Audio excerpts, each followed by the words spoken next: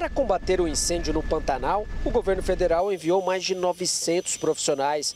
Forças Armadas, IBAMA, ICMBio, DENIT, Polícia Federal, Força Nacional e Defesa Civil atuam para enfrentar esta que é a maior seca dos últimos 70 anos. Nós estamos atuando desde o início para combater esses incêndios florestais e para responsabilizar as pessoas que porventura sejam culpadas desses incêndios. Muita logística, muita tecnologia envolvida para que de fato a gente possa controlar os incêndios e conservar esse patrimônio de todos os brasileiros, que é o nosso Pantanal. Pelo alto, 15 aeronaves ajudam na operação.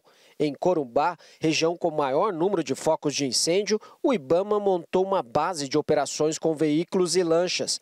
Na sala de controle, o bioma é monitorado 24 horas por dia. A gente tem dois sistemas de controle nessa sala de controle. É, um é do sistema Pantera, que são câmeras é, com inteligência artificial 24 horas, elas é, têm um, um alcance de 360 graus e qualquer aumento de, de fumaça algum, ou um brilho na tela, ela emite um alerta, ela dá o zoom automaticamente e emite para o celular do, da, das pessoas cadastradas um alerta. Além disso, tem o monitoramento do INPE, tem o monitoramento de outras instituições e até do próprio IBAMA que agregam mais informações em tempo mais rápido também, que também são disponibilizados e aí todo dia, no final do dia, às, 15, às 17 horas, a gente roda um documento chamado Plano de Ação do Incidente, onde é verificado o que a gente fez no dia, o que estava planejado e se foi cumprido, quais pendências